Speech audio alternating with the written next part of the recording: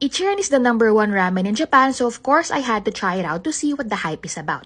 We went to this Nagoya location and surprisingly there were no long lines. In this location, you have to order first to be seated and here's my sister ordering for us and FYI, they only accept cash. Their menu is very simple and I got the classic tonkotsu ramen with a side of egg. I guess one of the reason Ichiran ramen became popular is because it has this unique private seating where you sit in these individual booths, but it's not best for group dining. Once seated, they have this paper where you can choose to customize your ramen. You can choose how thin or thick you want your noodles, how dense you want your broth, and you can adjust the spiciness. They also have these wood blocks you can use if you don't know how to speak Japanese. After a few minutes, the curtain rolled up and here's my ramen. For the record, I have tried the Ichiran's instant ramen and for me, it's one of the best instant ramen I had, so I have really high hopes for this. Of course, I had to try the broth first and yes, you can really taste that layers and layers of flavor.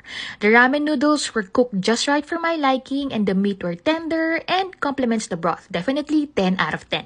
Now, if you're still hungry, you can order more using this paper and just press this button so they can get your order. All in all, if you happen to visit Japan, this ramen shop is worth a try for the experience. But if you are local, I'm sure there are other ramen shop on your list.